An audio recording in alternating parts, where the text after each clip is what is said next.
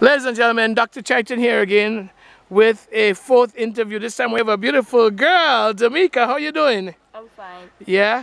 Um, Damika, you sat through the presentation today. Today was always stop and think before you proceed.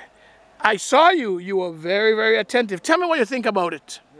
It was excellent.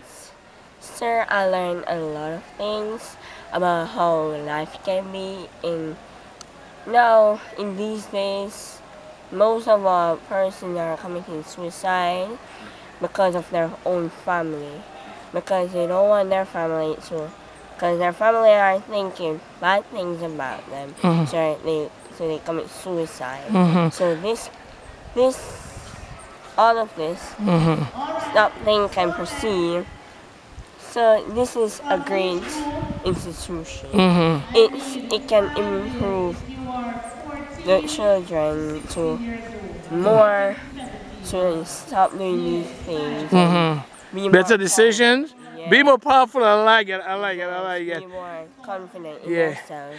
Yeah. So they can be when in the future they can more control it and pass it down to their children. Woo! I like that, girl. And, and they can they can do much more better than how they were. They Mhm. can have their children be much better than they were in when in their younger stage. Yeah. Now, qu- quickly, um, do you think the pres presentation was easy enough that everybody understood it? Yes, it was. Yeah. Because as as short as I am and as small as I am, I have quick brain. I understand things, so people can just really relax their mind and just get it Mhm. straight. That's sometimes in life they can have hard times and they can have good times. Mhm. So when they have they're- when they're having hard times, they can just relax, like do anything, read a book or something, just to control their mind, so they they don't have to go commit suicide. Mm, mm, So- mm. Most of all, like me, right?